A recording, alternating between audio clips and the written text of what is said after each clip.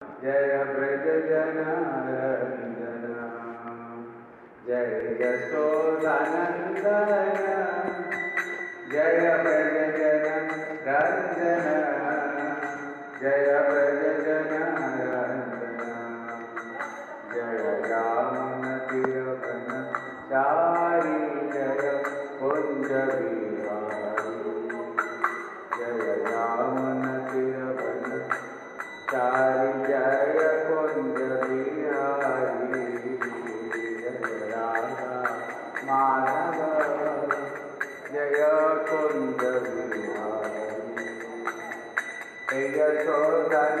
God.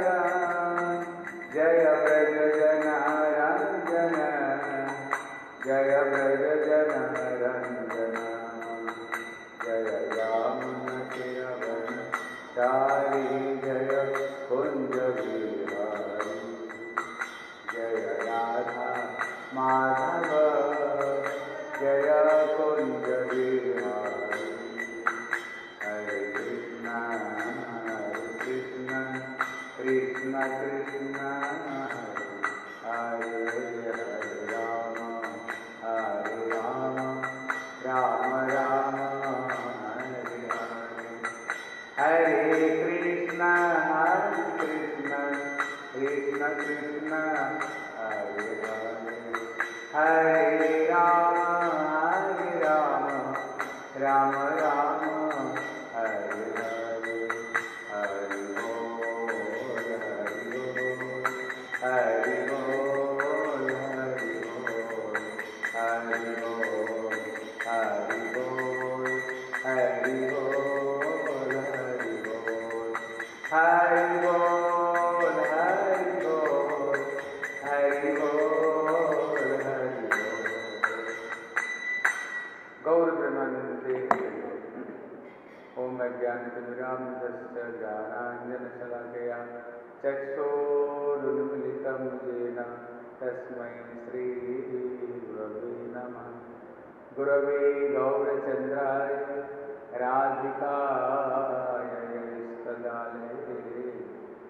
कृष्णाय कृष्णभक्ताय तद्भक्ताय नमो नमः वाञ्छाकल्पतरुभश्च कृपा सिन्धुभैव च पतितान पावनेभ्यो वैष्णवेभ्यो नमो नमः नमः वदन्याय कृष्णप्रेमप्रदायते कृष्णाय कृष्णचैतन्य नाम्नि गौरतुषे नम।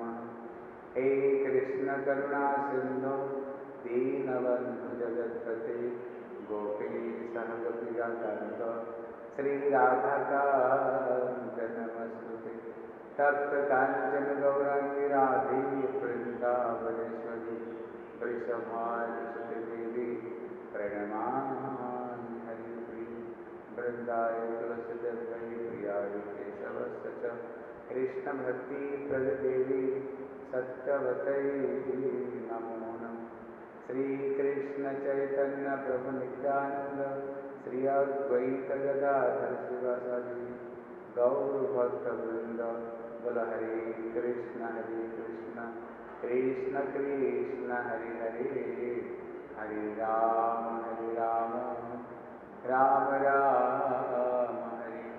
बोल हरे कृष्ण हरे कृष्ण कृष्ण कृष्ण हरे हरे हरे राम हरे राम राम राम हरे हरे सर्वप्रथम हरि गुरुपाद पद्म नितलीला प्रविष्णु विष्णु पाद स्त्रोत्र सतश्री श्री श्रीमद भक्ति श्री रूप सिद्धांति गोस्वामी महाराज के चरण कमल में अनंत कोटि साष्टांग दंडवत प्रणाम करता तत्पश्चात मेरे शिक्षा गुरुपाद पद्म नितलीला प्रविष्णु विष्णु पाद स्त्रोत्र श्री श्रीमद भक्ति श्रील नारायण गोस्वामी महाराज के चरण सरज में श्रद्धा पुष्पांजलि अर्पण करता उपस्थित वैष्णव वैष्णवी सभी को मेरे ठाकुर प्रणाम हरे कृष्ण।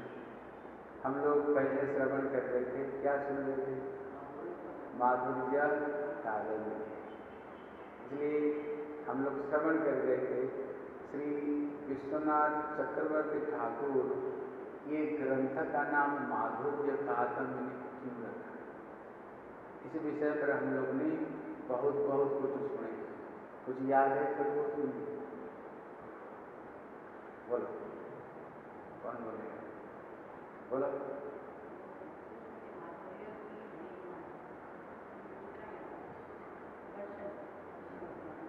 और हाँ?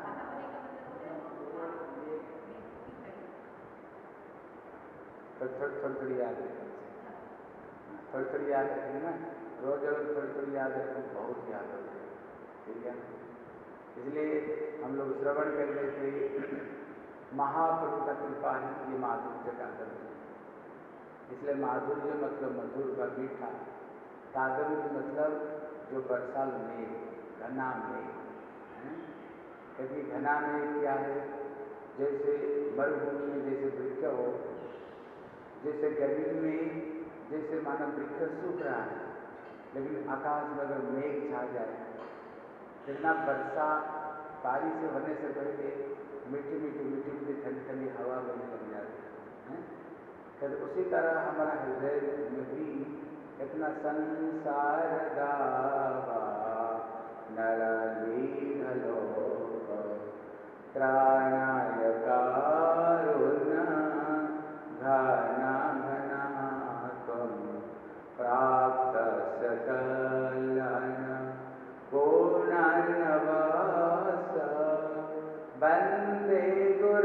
गुरश्री चरणारविन्दम् इसलिए कहते हैं संसार हमारा हृदय भी संसार में भी में दग्धीभूत हो रहा है जल रहा है लेकिन महाप्रभु का कृपा कैसे है महाप्रभु बड़े दयालु बड़े कृपा कहते वो इतने दयालु थे कहते कृष्ण प्रेम आय से ज़्यादा दूर कर अगर महाप्रभु किसी व्यक्ति को कभी दूर से देख लिया बस उनका कल्याण उसका हृदय में कृष्ण प्रेम की महाप्रभु संचार करते थे और महाप्रभु इतने दयालु इतने दयालु हैं, इसलिए श्री भक्तिविनोद ठाकुर कहते हैं दयालु निताई चैतन्य बोले नाचे हमारे हृदय महाप्रभु और नित्यानंद प्रभु का नाम को लेकर नाच उठे बोले क्यों बोले ए मन दयाल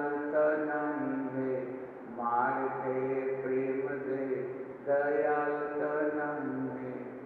कभी सुना है ऐसे भगवान को मार खा करके प्रेम देने वाले राम का अगर थोड़ी सी कुछ बोल दिया, धनुष उठाया अपना कृष्ण को थोड़ी सी कुछ कर दिया तो पूरा शिशुपाल दंतपुत्र कंस जरासंध सब खत्म कर दिया लेकिन महाप्रभु इतने दयालु नित्यानंद प्रभु इतने दयालु मटकी मार करके सर फोड़ दिए। कहते मेरे से कल सिर गाना खाए बोले कि प्रेम नहीं बना? भले ही तुमने मटकी मार करके मेरे सर फोड़ दिया इसलिए क्या तेरे को मैं प्रेम नहीं दूँगा? एक बार के बोले मेरे प्रभु का नाम लो। बोले श्री सचिनंदन गौर हरि की। ज़ोर से बोलो। बोले सचिनंदन गौर हरि की।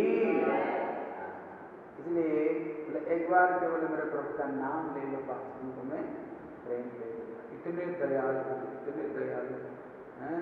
इसलिए हाँ इसलिए इनकी दया की बात तो इतनी इतनी जो सोच भी नहीं सकते, हैं? इतने दयालु श्री महाप्रभु। इसलिए कहते महाप्रभु का कृपा ही यही माधुर्य कादम्बरी जब मेघ रूप में हमारे हृदय में बरसती है, बस हमारा हृदय ठंडा हो जाता है। हमारे हृदय उसमें ठंडा हो जाता है हृदय। तो और एक उदाहरण देते हैं। जैसे कोई वृक्ष है मानो गली में सूख रहा है। अगर उसमें पानी पड़े तो उसका हरी भरी हो जाती है। लेकिन महाप्रभु का कृपा ऐसे नहीं, जहाँ पर कुछ है ही नहीं। जिस हृदय में भक्ति की एक बूंद नहीं है? महाप्रभु इतने दयालु, इतने कृपालु, जैसे कहीं रागड़ी बट रहा है कहीं रागड़ी बट रहा है भैया पात्र लेकर के जाओ, रागड़ी लेकर के आओ। लेकिन महाप्रभु इतने दयालु बोले पात्र भी देते हैं और रागड़ी भी देते हैं। चिंता मत कर, तुमको पात्र भी दे देंगे और तुमको रागड़ी भी दे देंगे पात्र दे देंगे मतलब दिया है। अगर जो संपूर्ण अनधिकारी भक्ति में, जिसका कोई अधिकार नहीं भक्ति में, महाप्रभु उसको क्या करते हैं? उसको अधिकार भी देते हैं और उसको अपना प्रेम भी देते हैं। इसलिए जानवर को बताओ कौन सा अधिकार है? महाप्रभु जानवर झारखंड पथ में जा रहे थे, उस समय बाघ, हाथी, भालू, उनको भी उन्होंने कृष्ण प्रेम दिया। बोल, हरे कृष्ण हरे कृष्ण कृष्ण कृष्ण, हरे हरे हरे राम हरे राम यही महाप्रभु का प्रेम की माधुर्य हाँ, मधुरता मधुर रूपी कादम्बिनी मतलब वर्षा करके हमारा हृदय रूपी जो सुखा मरुभूमि में भी कृष्ण प्रेम भक्ति को जो संचार करते ये कौन है? ये श्री सचिनंदन श्री गौर हरि बोले श्री सचिनंदन गौर हरि की बोले श्रीमद नित्यानंद प्रभु की बोले श्रीमद महाप्रभु की यहाँ पर कहते विशेष पहले जो था, जो सुने, वो मंगलाचरण। अभी कहते हैं कि विशेष मंगलाचरण। कहते विशेष क्या मंगलाचरण है बोले, भक्ति ही पूर्व सीता कांतो रसम दधि तम नौमी सततम रूपनाम प्रिय जनम हरे यद्यपि पहले भक्ति थी, लोग भक्ति करते थे। लेकिन केवल भक्ति ही करते थे। लेकिन यहाँ पर कह रहे हैं लेकिन श्री रूप गोस्वामी ने क्या किया? उन्होंने भक्ति को, उन्होंने रस रूप प्रदान भक्ति को उन्होंने एक एक रस रूप उन्होंने प्रदान किया, है? सब लोग हम तो भक्ति करते हम तो भक्ति करते लेकिन एक भक्ति का डेफिनेशन दिया। भक्ति कहते किसको? और भक्ति कितने तरह के होता है? और कौन सा कौन सा भक्ति का क्या क्या लक्षण है? भक्ति का एक एक स्टेजे से क्या चीज़ है। कभी ये चीज़ को किसने बताया? है कहते श्री रूप गोस्वामी ने भी बताया। श्री रूप गोस्वामी इसलिए उन्होंने जो बताए, आदो श्रद्धा। भक्ति जगत में पहले से भी श्रद्धा। उसके बाद में साधु संग होता उसके बाद में जो पता चलता हम कौन है?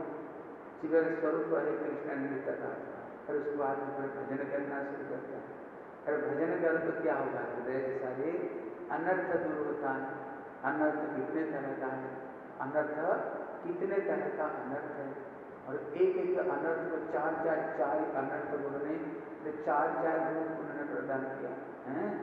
फिर वहाँ पर अनर्थ निवृत्ति, फिर रुचि, फिर निष्ठा, फिर भाव, फिर आसक्ति, भाव, फिर प्रेम। वो भक्ति धीरे धीरे धीरे धीरे कैसे बढ़ते बढ़ते, एक दिन कैसे यही भक्ति, एक दिन प्रेम रूप में परिवर्तन होता है और एक दिन प्रेम को कर कैसे भगवत होता है। इसको कहीं इस बात इसने नहीं बताया। इस बात उन्होंने कहीं को कहीं नहीं बताया। इसलिए भागवत में तो है इस बात को, लेकिन इसको उठा करके हमारे सामने रखना, ये बात इसने बताई नहीं। इसलिए भक्ति के अंदर में जो तारतम्य है ज्ञानी भक्त, प्रेमी भक्त, प्रेमापर भक्त, प्रेमातुर भक्त, और इसका क्या क्या लक्षण है? इन्होंने भी लघु भागवत ग्रंथ में भी इस बात को उन्होंने वहाँ पर बताया, है? केवल इतना नहीं, भक्ति में भी पाँच तरह का भक्ति शांत रस का भक्ति, दास्य रस का भक्ति, है उसमें सत्य रस का भक्ति बात्सल रस का भक्ति फिर श्रृंगार रस का भक्ति। केवल इतना नहीं केवल ये भी बताते हैं इसका क्या क्या लक्षण है, कि ये भक्ति में क्या क्या लक्षण होता है। उन्होंने इस लक्षण को ना सब उन्होंने बात बताई। किसने बताया श्री रूप गोस्वामी ने बताया हाँ? और इन्हीं भक्तियों में सर्वश्रेष्ठ भक्ति कौन सा है? हमको किसने बताया? दुनिया अब क्या? हाँ हम तो भगवान की भक्ति करते हैं। सारे देवादेव को पूजा करते हैं। और उल्टा पल्टा चीज़ करते हम तो भक्ति करते हैं। हाँ हम तो भक्ति करते हैं। लेकिन भक्ति का डेफिनेशन क्या है इसलिए उन्होंने क्या बताया बोलो? सब पंडित इसलिए उन्होंने जो उन्होंने भक्ति का जो डेफिनेशन दिया, इसलिए गुरुदेव कहते थे, भक्ति की डेफिनेशन अलग अलग शास्त्र में है। भागवत में भी है, उपनिषद में भी है। भक्ति का सब डेफिनेशन दिया है? कहते सा परानुरक्ति ईश्वर में हमारी अच्छी अनुरक्ति हाँ श्रेष्ठ अनुरक्ति होनी चाहिए। इसको उन्होंने भक्ति के डेफिनेशन दिया। बोले, सबई पुरुषा जब भक्ति जब सचे आहे की अप्रतिहता जय आत्मा संप्रसिद्धि भागवत में भी इसका भी देखने डेफिनेशन दिया है। जीव का सर्वश्रेष्ठ धर्म में भगवान को प्रेम करना अब प्रेम कैसे करनी चाहिए? दुखी और अप्रतिहता उसमें कोई हेतु नहीं रहनी चाहिए, वो भक्ति में कोई बाधा नहीं आनी चाहिए, है? वहाँ पर भी बताया कद अनन्य ममता भक्ति, ममता प्रेम, संतता, है? इसलिए भगवान के प्रति अनन्य भक्ति होनी चाहिए अनन्य प्रेम होनी चाहिए। जैसे नारद, उद्धव ये सब जिन इन लोगों ने जैसे पराशर श्री श्री अम्बरीश महाराज इन लोगों ने जो भक्ति किया है, है? ये सब है। लेकिन गुरुदेव कहते थे। लेकिन ये सारे शास्त्र को पूर्णीभूत करके सारे भक्ति की डेफिनेशन को उन्होंने पूर्णीभूत करके जो एक अद्भुत उन्होंने एक जो लक्षण बताया ये लक्षण अद्भुत। क्या है श्लोक? बोलो श्लोक। अन्याभिलाषिता शून्य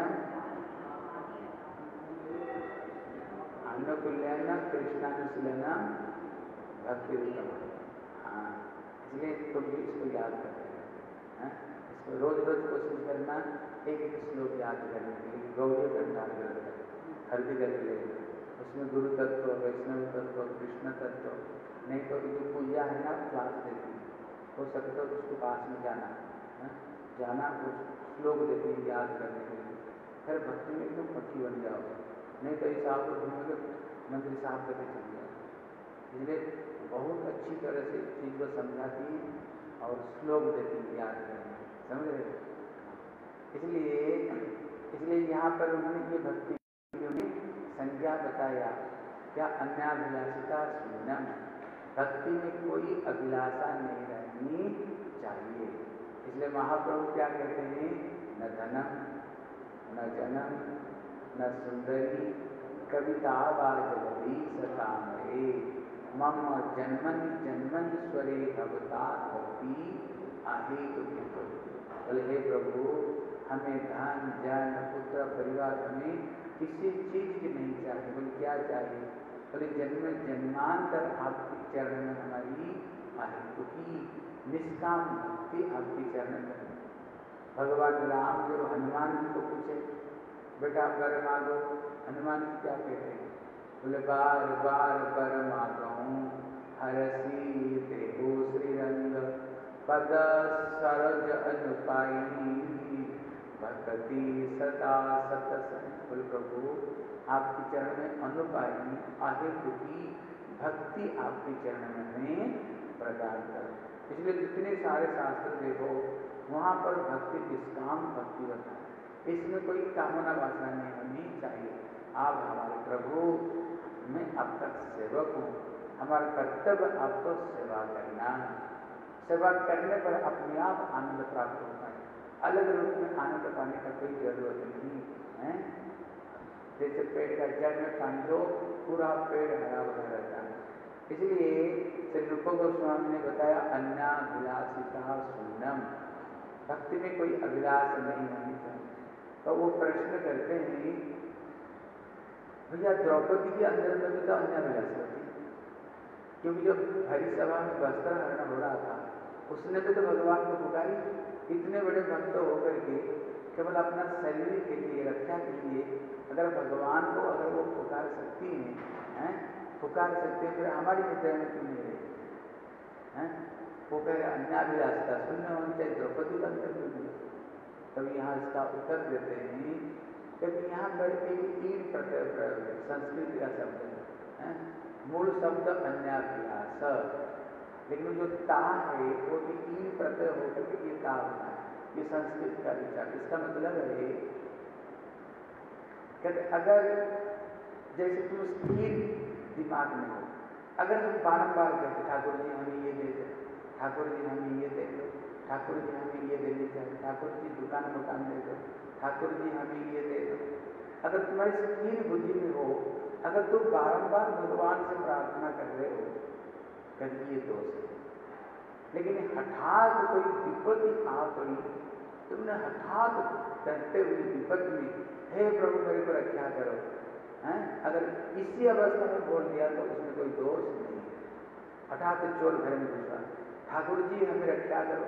तो उस समय में दोष नहीं लेकिन स्थिर बुद्धि रहते समय बारंबार अगर प्रभु से प्रार्थना कर तो यहाँ पर ये दोष है। इसलिए द्रौपदी, इसकी जब वस्त्र हरण हो रही थी बीच भरी सभा में लाज चाह रही थी, उसी समय उसने भगवान को पुकारा।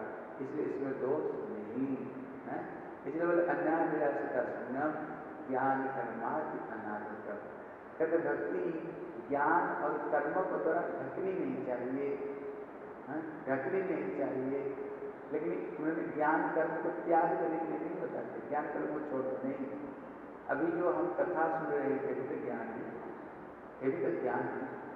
इसलिए कृष्णदास कविराज गोस्वामी बताए, बोले, सिद्धांत बोलिया, चित्ते नाकल और अलस। जा कृष्ण, लागे सुदृढ़ मानस मतलब है, कोई चीज़ का कठिन सिद्धांत तत्व है अरे सब तत्व को तो कौन समझता केवल हरिनाम तत्व नहीं थोड़ी इधर उधर होगा ना, फिर हरिनाम हरिनाम भी रह जाएगा। थोड़ी सी कोई विपत्ति आ गई, भले ही हम कोई चीज़ नहीं छोड़े, फिर हरिनाम भी छोड़? हम इतने भगवान भजन की और ठाकुर हमारे साथ नहीं सीखे इसलिए भक्ति तुम्हारी सिद्धांत, तत्व तुमको पक्की होनी चाहिए जितने तुम ये वैष्णव फिलोसफी को अच्छी तरह से समझोगे, उतना तुम्हारी भक्ति भी दृढ़ होगा। इसलिए इसलिए बामन गोस्वामी महाराज कहा करते थे, हमारे संप्रदाय का विचार जिसको जितने अच्छे तरह से पक्के हैं, उसका भक्ति भी उतनी पक्की। उतने भक्ति पक्की नहीं तो भक्ति हम भक्ति कर रहे हैं। कोई आगे बोले भक्ति भक्ति कुछ नहीं। अरे जो ज्ञान है ना जी एक दिन ब्रह्म में लीन हो जाना चाहिए संसार में दुख करते जा रहे नहीं तो कोई कोई आपका संप्रदाय, बाबा जी संप्रदाय में आकर बोले, अरे, ये सब क्या बात है, क्या कर रहे हो? ये हरे कृष्ण नाम कर रहे हो, ये गौरी बट वाले कुछ नहीं जानते। अरे, पहले तो मंदिर, तुम्हारी मंदिर स्वरूप क्या है? तुम्हारे नित्य का नाम क्या है? तुम्हारी सेवा क्या है? हाँ ये सब चीज़ बोलते नहीं। और केवल तुमको कहते हैं हरिनाम करो, भक्ति करो जीवन स्वरूप हरे कृष्ण ये सब बेकार आप हमारे दल में आए फिर हम क्या करें? इसको छोड़ करके बोलेंगे, हम ये सही बता रहे फिर क्या होगा? हम भक्ति रास्ता छोड़कर फिर दूसरे काम करेंगे। इसलिए जो मन है ना वो टमाटर सा रहता नहीं, इतने पक्की होनी चाहिए। इसलिए कृष्णदास कविराज गोस्वामी बोले, तीन तरह के भक्त हैं। कितने तरह के? तीन तरह याद रखना अलबत बोलना।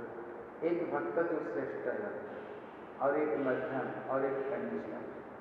बोले, श्रेष्ठ, मध्यम, कनिष्ठ में क्या पार्थक्य कहते, कनिष्ठ भक्त उसको कहते हैं साधारण भक्त, जिसका भक्ति बड़ी टमाटर सा है। कभी इच्छा होता है इनाम कर लेते हैं, भजन कर लेते हैं।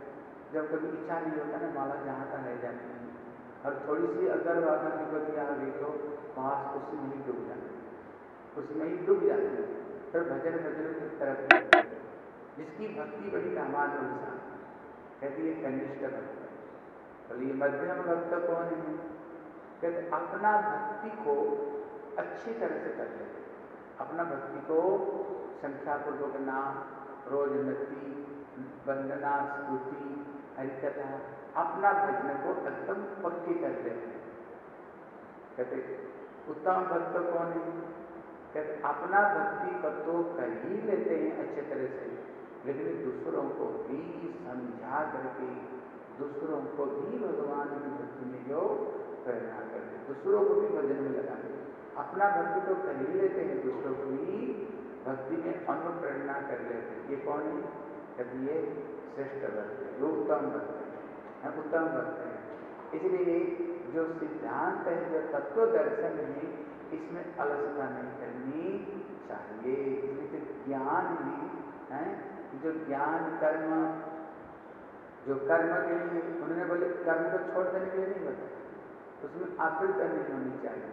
जैसे हम भी तो मंदिर साफ़ करते हैं यही तो करना लेकिन किसकी मंदिर? भगवान हम भी तो ठाकुर जी के लिए माला बनाते हैं, लेकिन किसके? ठाकुर जी के लिए। हम भी तो ठाकुर जी के लिए रसोई बनाते हैं भी तो कर्म है। लेकिन किसके लिए करते हैं? ठाकुर जी के लिए। हम भी तो नौकरी करते हैं, लेकिन नौकरी किसके लिए करते हैं? ठाकुर जी की सेवा के लिए हम नौकरी करते हैं। ये भी कर, श्वास लेना भी, ये भी कर्म है। श्वास लेना भी कर्म चलना भी, ये भी कर्म है। सभी कर्म कर्म है। यही लेकिन हम जो कर्म कर रहे हैं, किसके लिए कर रहे हैं? भगवान के लिए कर रहे हैं। ये भी कर्म नहीं इसलिए कृष्ण गीता में कहते हैं, यज्ञार्थात कर्मन अन्यत्र, लोक अयम कर्म बंधन भगवान कहते हैं अर्जुन, मेरे लिए जो नहीं करके यज्ञार्थात मतलब मेरे को छोड़ करके जो कोई कर्म करता है बंधन उसको प्राप्त होता है, कर्म बंधन। लेकिन जब कोई व्यक्ति मेरे लिए कोई कर्म करता है, वो कर्म नहीं, वो क्या है? इसलिए ब्रह्मा जी स्तुति करते हैं प्रभु, तब तक ये संसार बंधन है, माया। बोले कब तक ये संसार माया है। बोले, जब तक जी भगवान के लिए नहीं करते अपना के लिए करते तब तक ये बंधन और माया नहीं। लेकिन जब भगवान के लिए करते तो बंधन नहीं हो माया नहीं। ये मंदिर कितना सुंदर मंदिर है? कितनी सुंदर फर्श लगा कितने सुंदर लगा है? इसलिए लेकिन लगाया किसके लिए कितने सुंदर फूल सजाए कितने पैसा लगा? लेकिन किसके लिए कर रहे हैं? भगवान के लिए कर रहे हैं, ठाकुर जी के लिए कर रहे हैं। इसलिए यहाँ पर जो ज्ञान और कर्म बताया, जो ज्ञान ब्रह्म ज्ञान के लिए बताया, जीव और जो ब्रह्म होता जो ऐक्य ज्ञान नहीं जो कहते हैं, अरे लास्ट में अपना सत्ता को लेकर के ब्रह्म में हम लीन करते हैं। इसलिए न रहेगा बाँस और न बजेगी बांसुरी। जब तक दुनिया में रहेंगे तब तक दुख कष्ट मिलेगा इसलिए क्या करो? ब्रह्म में अपना सत्ता को उसी में ही लीन कर दो ये ज्ञान नहीं चाहिए, है? ये ज्ञान हमें नहीं चाहिए।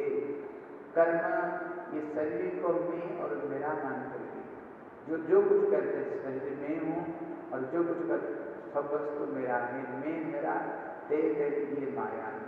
इसलिए भगवान को छोड़ करके जो कर्म है भगवान की भक्ति में जो संलग्न है वही बंधन का कारण बल्कि चीज़ को छोड़ने के लिए बताया और क्या बताया आनुकूल्य में कृष्णानुसरणम जो काम करने पर भगवान संतुष्ट होते हैं।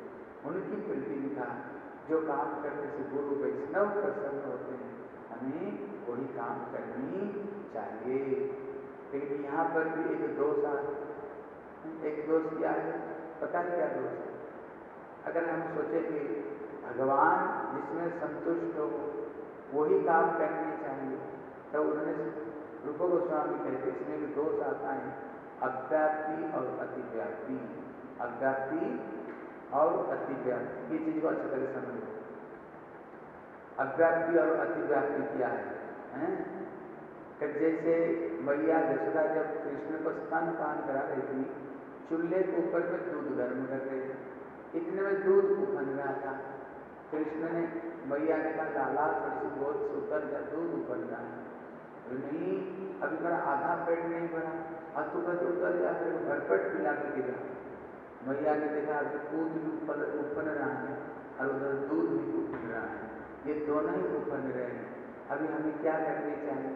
बोले, मेरे स्तन में जो दूध कृष्ण के लिए तो नहीं है, अगर वो दूध अगर उत्पन्न करके गिर पड़ा तो फिर उसमें मलाई नहीं बनेगी। मलाई नहीं बनेगी तो उसमें फिर मक्खन नहीं बनेगी। फिर मैं लगा को क्या खिलाऊँ? स्तन में दूध जब इच्छा तब खा लें। इसलिए वहाँ पर कृष्ण रो रहे हैं, कृष्ण रो रहे हैं। लेकिन कृष्ण को रोते हुए छोड़ करके उन्होंने कहा गए? हमने दूध को रक्षा करने के लिए लेकिन ऊपर से क्या है? भक्ति नहीं भक्ति नहीं। यही भक्ति यही भक्ति है। बोले, क्यों ये भक्ति? क्योंकि कृष्ण के लिए, कृष्ण के सुख के लिए, उसकी भावना को देखना पड़ेगा। यहाँ पर भगवान की भावना नहीं, भक्तों की भावना देखना पड़ेगा। यहाँ पर लगता है कि भक्ति, अव्याप्ति अव्याप्ति मतलब होता है, भक्ति का लक्षण नहीं दिख रहा है, लेकिन इसको भक्ति लेकिन दूसरा तरफ़ में दिखाए चारों मुष्टि की युद्ध कर रहे हैं। लेकिन कृष्ण बड़े खुश है बड़े प्रसन्न है हाँ कृष्ण वीर आस्वादन कर रहे हैं। फिर इसको भक्ति समझे बोले, भक्ति नहीं क्यों? बोले, चारों की गोष्ठी का हृदय, क्या भावना? इसको थोड़ी सी मौका मिले ना तो पछाड़ दूँ पूरा मिट्टी में मिला दूँ उसको तो इसलिए उसको भक्ति नहीं कहा जाएगा। इसलिए यहाँ पर किसको पर निर्भर करनी चाहिए? किसके हृदय में? भक्तों का हृदय को पर निर्भर करनी। कहते कृष्णानुसजनम भक्ति उत्तमा। यद्यपि भक्ति, नरसिंह भगवान का प्रति भक्ति, बराह देव का भक्ति भी भक्ति, बामन देव का प्रति भक्ति भक्ति, राम के प्रति भक्ति भक्ति। लेकिन वो उत्तमा भक्ति नहीं है। तो उत्तम, उत्तमा भक्ति किसको होनी चाहिए? जब कृष्ण के लिए भक्ति करो, ये उत्तमा भक्ति। इसलिए यहाँ पर श्री विश्वनाथ चक्रवर्ती ठाकुर कहते हैं कि यद्यपि पहले थी लेकिन भक्ति का जो रस रूप है ना भक्ति का रस रूप नहीं था, लेकिन उसका रस रूप किसने दिया श्री रूप गोस्वामी ने प्रदान की। प्रश्न है, भैया, इनके हृदय में भक्ति की रस रूप कैसे प्रदान किया? रस रूप किसने दिया? इनके हृदय में से महाप्रभु, ये शक्ति महाप्रभु ने संचार की। ले कहाँ पर क्या शक्ति संचार? बता। कहाँ पर क्या? एक तो प्रयाग में किया और एक से जगन्नाथ को उनने दो जगह में इनके हृदय में, उन्होंने भक्ति प्रदान संचार की। हाँ उनको छोड़ गुरुदेव कहते चाबी का जी, उनने से रूपो गोस्वामी को दे दिया, भंडारा का चाबी का खुल लो। ये भंडारा को तुम ही संभालो, हैं? तुम ही संभालो। इसलिए प्रयाग में महाप्रभु बोले, देखो, भक्ति रस एक समुद्र है। जिसका कोई आर पार नहीं, भक्ति रस। लेकिन हे रूप मैं तेरे को भक्ति रस का केवल एक बूंद ही तेरे को मैं छिपा हूँ इसलिए उन्होंने उनके हृदय में सारे तत्व ज्ञान उन्होंने उपयुक्त ज्ञान करके वहीं पर उन्होंने रस तत्व, कृष्ण तत्व, राधा तत्व, प्रेम तत्व, हैं? ये सारे तत्व उनके हृदय में उन्होंने पूर्ण कराए एक बार। और पुरी में पहले सुने पुरी में कैसे जगन्नाथ जी रथ यात्रा के सामने महाप्रभु कैसे नृत्य कर रहे थे। एक साधारण श्लोक बोल रहे थे। लेकिन कोई नहीं समझ रहा था। लेकिन वो भाव को समझते हुए रूप गोस्वामी जब ठीक वैसे एक श्लोक को लिख करके रखे, महाप्रभु देख कर कितने प्रसन्न हो गए। उनके हृदय में आनंद में समाया नहीं। है श्री स्वरूपदामोदर राजानंद और श्री सार्वभौम भट्टाचार्य सबको लेकर के आए लेकर के आए और वो श्लोक को सुन करके कौन सा श्लोक है? तो दो श्लोक को सुन। क्या क्या श्लोक है? बोलो। जब एक हाँ? क्या? दो श्लोक को सुनकर खुश हो गए। क्या दो श्लोक है? बोलो। इसलिए एक श्लोक है अनर्पीत चरित्रा करुणयावत कलौ समर्पयित उन्नत उज्ज्वल रसान, स्वभक्ति हरि पुरट सुंदर बुद्धि कदम संविदित, सदा हृदय स्फुरत सचिन ये एक श्लोक है। महाप्रभु है, क्यों आए? जगत को भी क्या देना चाह रहे थे? हैं? ये ये एक। दूसरा श्लोक है, हरि नाम की महिमा के ऊपर में तुंडे तांडवनी वितनते तुंडा बलि कर्ण करो कड़बनी घटे करना उदेव स्त्रिया चेत प्रांगण संग निरचयते सर्वेन्द्रियाणां कृति नौ जाने जनिका की अद्भुत कृष्ण जीवन ये दो श्लोक सुनकर के भक्त लोग का नाच उठे हरिदास ठाकुर नाच उठे बोले, वाह हमने नाम की महिमा हमने बहुत सुनी पहले, लेकिन ऐसे नाम की महिमा हमने कभी सुनी नहीं। बड़े प्रसन्न। है अरे महाप्रभु सारे भक्तों को बुला करके कहते, श्री रूप गोस्वामी के ऊपर सत्य से कृपा है? सत्य से इसके ऊपर कृपा करो।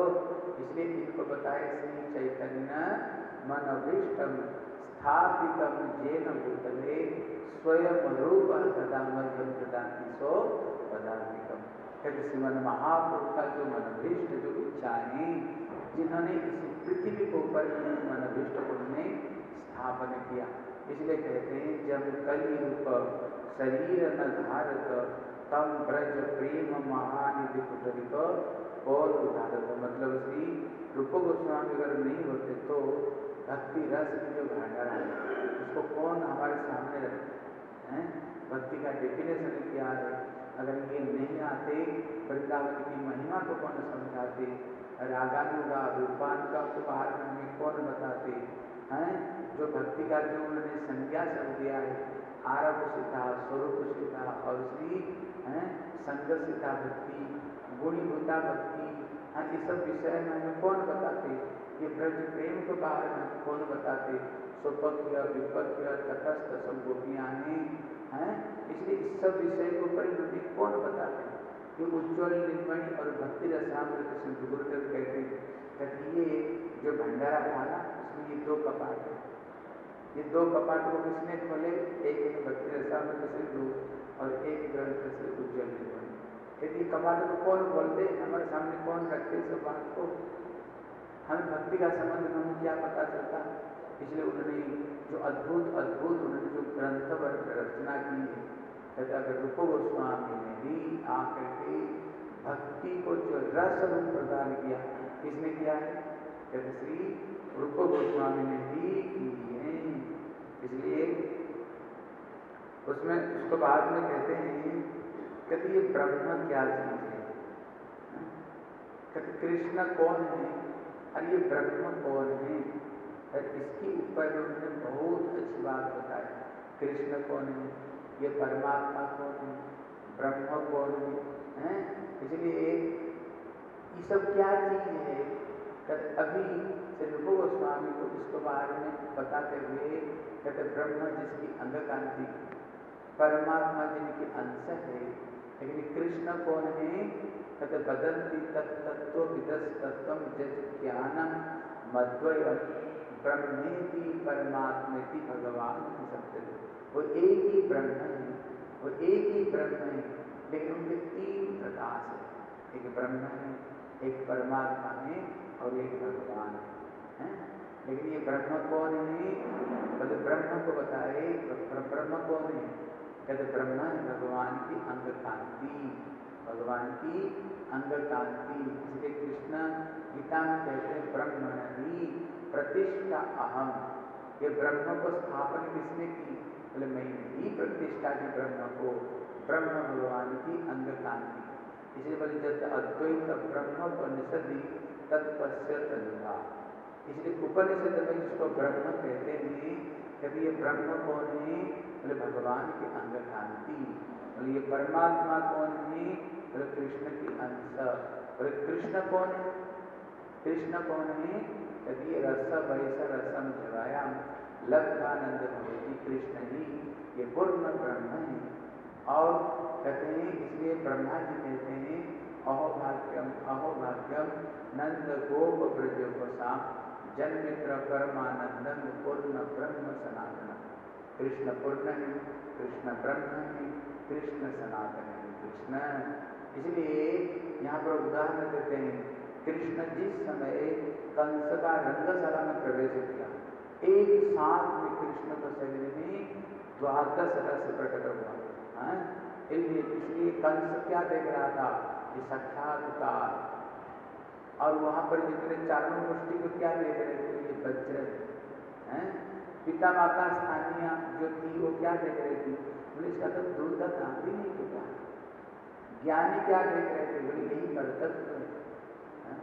इसलिए स्त्रियाँ क्या देख रही थी? बोले, ये देव ये साक्षात काम देव ये इसलिए एक साथ में कृष्ण के शरीर में द्वादश रस एक साथ में प्रकट हो रहा था। इसलिए कृष्ण कौन है ये अखिल रसामृतम बुद्धि, जितने सारे रस का जो बुद्धिमान स्वरूप कौन है वे भगवान कृष्ण है। यही सर्व का कारण है। और इनसे ही विश्व ब्रह्मांड सृष्टि सिद्धि जो कुछ हो रहा है, किससे हो रहा है, ये कृष्ण से ही हो रहा है।